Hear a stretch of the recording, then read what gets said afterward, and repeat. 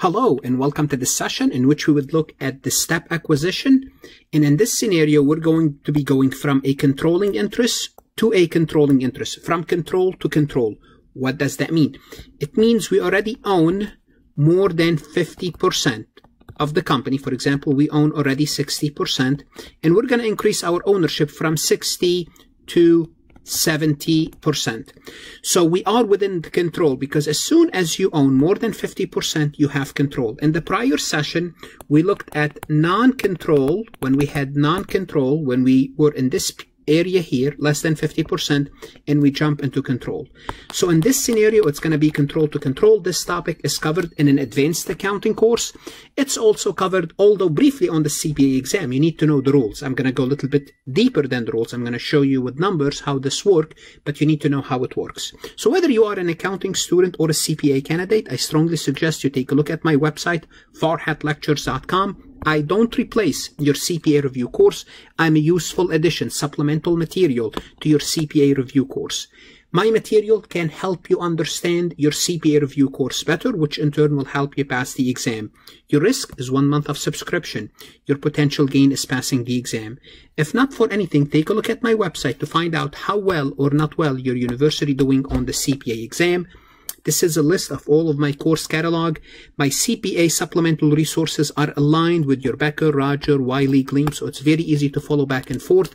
I do have, I give you access to all the AICPA previously released questions. If you have not connected with me on LinkedIn, please do so. Take a look at my LinkedIn recommendation, like this recording, connect with me on Instagram, Facebook, Twitter, and Reddit. So in this session, we're going to be explaining going from controlling interest to more control. So at this point, we already, we already know that control already exists. It means we have goodwill and NCI that already existed from the prior transaction. So what's going to happen then if you already have control and you're adding more to it? So what you're technically doing is you're reducing the non-controlling interest. What does that mean? Let me show you on a graph. If you are, let's assume we're started at 60% and we're going to increase it to 80%. So notice the 60%, let's call it the majority interest. This is this green line is the majority. There's no such thing as the majority, but just to kind of get the point that we are in control. And this portion here is the non-controlling or the minority interest. All what we're doing is we are taking away a portion of the minority interest. That's exactly what we are doing. We're, we're buying from the minority interest. That's, that's who own the remainder, the minority interest. So simply put, we're going to be reducing the NCI, reducing the, the NCI. We're buying from them their interest. We're buying them, them their shares. At this point, when this happened, we don't revalue assets and liabilities.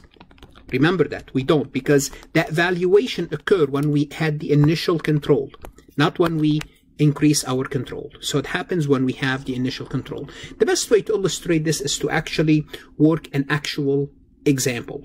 On January 1st, 2024, Adam obtained 70% of Ryan Company by paying $350,000 in cash. Well, now we need to find out what's implied fair value. The fair value is half a million, 350 divided by 70. The book value of Ryan Company equal to the fair value equal to 400,000 on that date. Therefore, we paid $100,000 more. We're going to assume the whole amount is goodwill. Therefore, we establish goodwill at 100,000. Now, a year later, we decided to buy more shares of Ryan's company. Remember, we own 70%. We own 70%. And now we're going to increase our ownership a year later. A year later, the book value is 420,000. And Adam decided to buy an additional 20%, go from 70 to 90%, additional 20% by paying $95,000.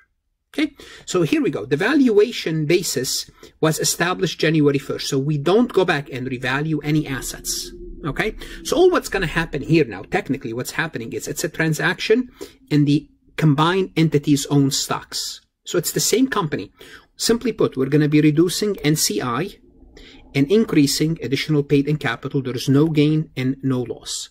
Okay, so let's take a look at the difference between the fair value consideration transferred and the underlying subsidiaries valuation, uh, subsidiaries valuation. Okay, let's take a look at it. We paid 95,000 for 20%.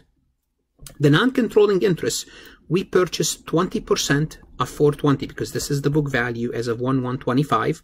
So we took away 84,000 of their book value and we took away 20% of their goodwill. We took away from them 104. We paid only 95. The difference is 9,000. Simply put, we paid less. We paid less for their interest because their interest is 104 between goodwill and book value. We only paid 95. So simply put, the, the, the, general, the journal entry that we will make with is we're going to debit investment in Ryan for 104. What is that 104 coming from? Well, 95 is what we paid and the remainder, which is uh, 9,000 is coming from NCI. It's transferred from NCI. Then we're going to credit cash to indent a little, credit cash. And the difference is paid in capital. Again, we don't have a gain. We don't have a loss. Technically, what we did is we reduced NCI and we increased our investment by that amount. So simply put, the majority owners acquired a portion of their firm at a 10,000, at a 9,000 less than the consolidated book value. So get a small bargain here. From a worksheet perspective, again, the 104 is an increase of the investment by simply reducing. We're going to be reducing NCI if we complete the worksheet, which is beyond the scope of our purpose. But this is exactly why, because you might be asking, why am I paying 95 and getting the investment is 104? Because when you complete the consolidation worksheet, you will have to reduce NCI and it's increased against the investment. And that amount is 9,000. So this is basically what happened. At the end of this recording, I'm going to remind you whether you are an accounting student or a CPA candidate to take a look at my website, farhatlectures.com. I do not replace your CPA review course. You know, keep it. You need it. I am a supplemental tool. I am an adjunct. I'm helpful to that course. S study hard, invest in yourself. The CPA is worth it, and stay safe.